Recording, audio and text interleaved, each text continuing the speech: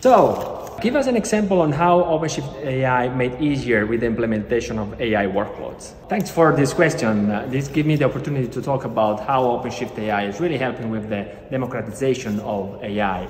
With the inclusion of open source tooling like uh, Kubeflow, Elyra, um, the same Argo CDs to make uh, um, deploying of model easy, uh, training of model easy with pipelines, and also accessing to those uh, uh models uh, and, and, frameworks. So I really like how OpenShift AI is making AI accessible to everyone. Can you explain what RAG is and how it differentiates from traditional LLM approach? Why it is essential for enterprise AI solution? RAG uh, is uh, one of the approach uh, which is uh, very useful when it comes to interact with LLMs because it helps with uh, expanding the uh, foundational model knowledge with additional awareness, with additional knowledge. So you can feed the, the process with external documents.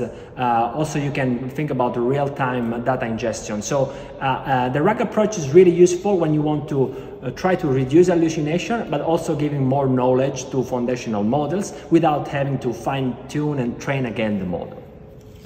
Yeah. Huh.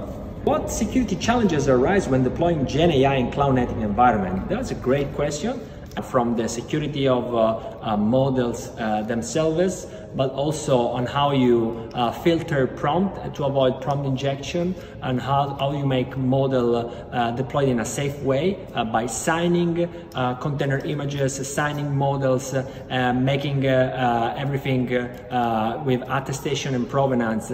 Um, so what Red Hat is building is really a security layer around all the Gen AI workloads and in general all the AI workloads.